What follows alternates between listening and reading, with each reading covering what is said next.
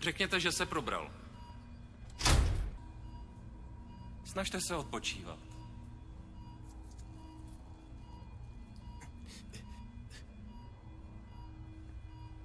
Nejste tu poprvé. Nemáte se čeho bát.